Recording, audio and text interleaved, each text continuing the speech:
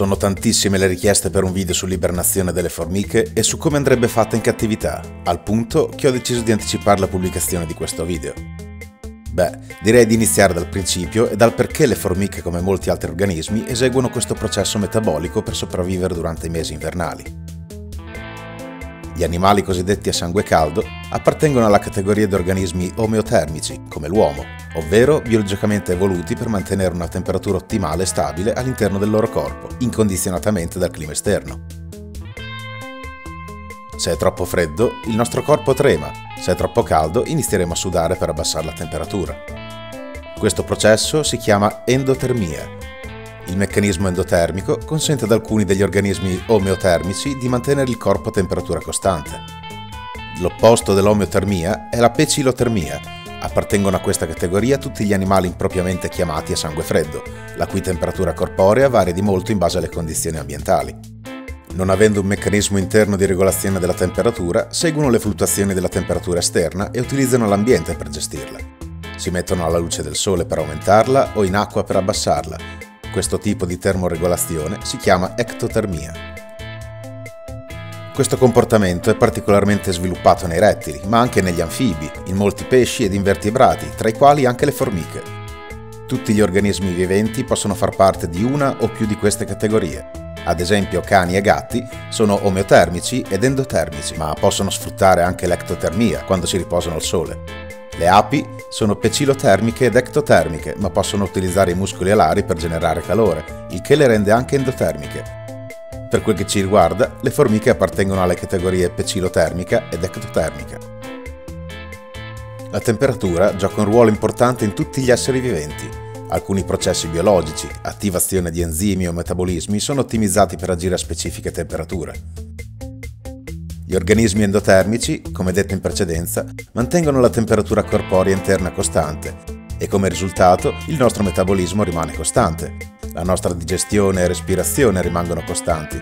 Muscoli, movimenti, attività nervosa, sistema circolatorio rimangono relativamente costanti sia che le temperature esterne siano calde o fredde. Gli ectotermici, come le formiche, hanno una temperatura che combacia con quella ambientale e vincola i loro processi biologici. Quando la temperatura ambientale è alta, anche la temperatura interna delle formiche è alta e questo comporta un'accelerazione di tutti i loro processi, digeriscono il cibo e lo convertono in energia più velocemente, il che significa che si muovono più velocemente.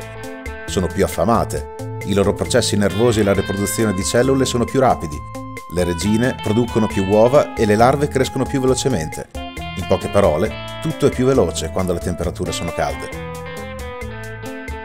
Quando la temperatura ambientale si abbassa, i loro corpi diventano freddi e in queste condizioni le formiche semplicemente rallentano. Alimentazione, movimenti, metabolismo, crescita, tutto subisce un forte rallentamento ed è quello che succede quando mettiamo le nostre colonie in ibernazione. Biologicamente parlando, pecilotermia ed ectotermia sono una valida strategia di sopravvivenza durante l'inverno, dato che la richiesta di cibo cala notevolmente. Quando invece un organismo omeotermico come l'uomo, al contrario, necessita di più cibo per mantenere calda la sua temperatura interna. I pecilotermici ed ectotermici a temperature fredde non hanno bisogno di cibo perché tutto è più lento. Durante l'ibernazione invernale le formiche non hanno bisogno di cibo perché sono virtualmente spente ad uno stato di stasi. Questo significa che anche la manutenzione da parte dell'allevatore sarà minore. Al di là dell'essere pecilotermiche ed ectotermiche, le formiche cadono anche nella categoria degli organismi bradimetabolici. Il bradimetabolismo si riferisce ad uno stato letargico così lento da essere quasi prossimo alla morte, questo in risposta a condizioni invernali estreme o in mancanza di cibo. Quando le temperature si abbassano, noterai che l'appetito e in generale le attività delle formiche calano notevolmente e tenteranno di chiudere l'ingresso dei loro nidi con detriti. Alcune di esse faranno scorte per sopravvivere durante i mesi in cui non hanno la possibilità di foraggiare,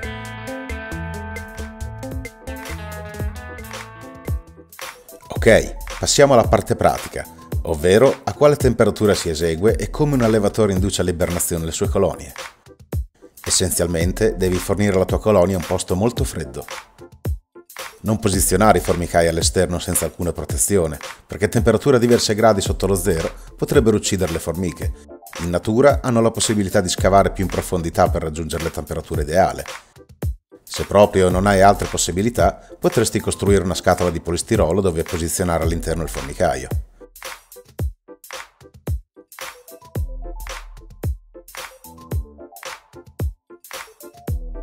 Se invece hai la possibilità di usare un frigorifero, tanto meglio, ma assicurati di settare le impostazioni minime e controlla che la temperatura sia giusta. Questo è probabilmente il metodo migliore perché consente di avere una temperatura fissa.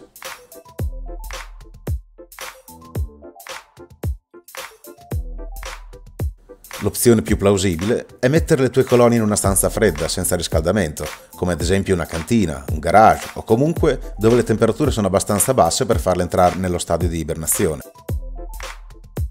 Non preoccuparti di congelare a morte le tue formiche. Nella loro emolinfa è presente della glicerina che agisce come antigelo e ne previene il congelamento a temperature prossime allo zero. Una temperatura dai 5 ai 10 gradi è più che sufficiente per la maggior parte delle specie. Le formiche non richiedono cibo durante la fase di ibernazione, ma avranno comunque bisogno di umidità ed acqua.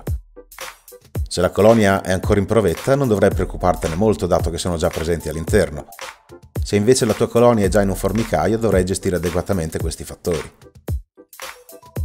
Anche se in inverno sarà più facile da mantenere umido per via delle temperature, non dovrai dimenticarti per nessun motivo di idratare il formicaio con una certa regolarità. Alcune specie di formiche native dalle regioni più calde, come ad esempio il sud e le isole d'Italia, con il classico clima mediterraneo, possono fare a meno del processo di ibernazione se vengono tenute al caldo durante il periodo invernale. Di solito queste specie entrano in uno stadio di rallentamento già intorno ai 15-20 gradi. Il loro istinto evolutivo è quello di ibernarsi durante i 2-3 mesi freddi, quando in natura la temperatura è bassa e quindi il cibo è scarso. Se hai a che fare con queste specie, allora dovrai fornire del cibo di tanto in tanto, dato che la colonia non è in una fase di ibernazione completa. Fai molta attenzione agli sbalzi di temperatura troppo repentini, perché possono essere pericolosi per la tua colonia, dovresti garantire un calo graduale arrivando alla temperatura di ibernazione nel giro di qualche giorno. Per esempio, non dovresti spostare la colonia da una temperatura di 28 gradi direttamente in frigorifero a 5. Lo stesso vale anche per il risveglio dall'ibernazione. Se all'interno della colonia ci sono ancora molte pupe in attesa di schiudersi, ti conviene attendere che nascano, almeno la maggior parte. Al contrario delle larve e delle formiche adulte, le pupe non possono entrare in stasi e in questo stadio non supereranno l'inverno. Il mio consiglio personale è quello di eseguire sempre l'ibernazione annuale se la specie lo esegue in natura.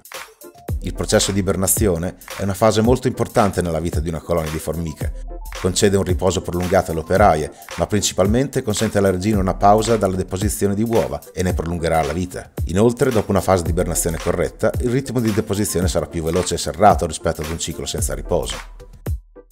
Se hai a che fare con una specie esotica, dovrai informarti molto bene sulle sue abitudini.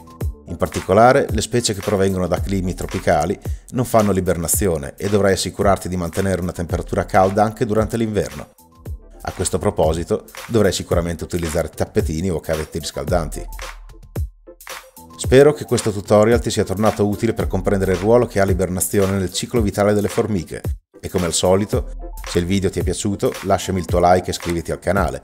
Se invece hai qualche domanda su questo argomento ti invito a farmelo sapere con un commento. Grazie per la visione e al prossimo video.